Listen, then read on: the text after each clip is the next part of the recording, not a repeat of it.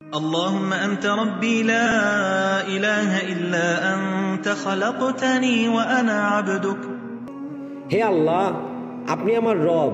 আপনি ছাড়া আর কোনো হক ইলা নেই আপনি আমাকে সৃষ্টি করেছেন এবং আমি আপনার বান্দা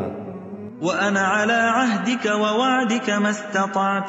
أعوذ بك من شر ما صنعت আর আমি আমার সাধ্যমতো আপনার তাহিদের অঙ্গীকার ও জান্নাতের প্রতিশ্রুতির উপর রয়েছি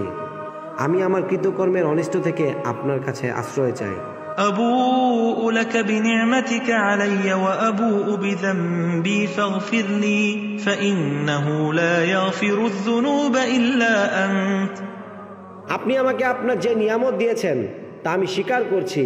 আর আমি স্বীকার করছি আমার অপরাধ অতএব আপনি আমাকে মাফ করুন নিশ্চয়ই আপনি ছাড়া আর কেউ গুণাসমূহ মাফ করে না যে ব্যক্তি সকালবেলা অথবা সন্ধ্যাবেলা এটি অর্থ বুঝে দৃঢ় বিশ্বাস সহকারে পড়বে, সে ওই দিনে অথবা রাতে মারা গেলে অবশ্যই জান্নাতে যাবে।